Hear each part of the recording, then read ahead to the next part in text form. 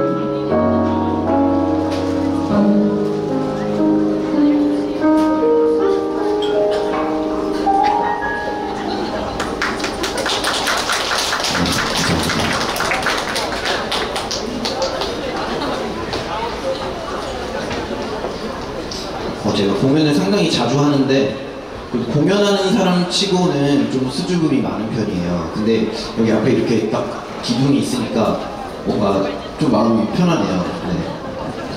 어, 다음 곡 어, 흔들리는 꽃들 속에서 내 샴푸 향이 느껴질 거야 라는 곡입니다.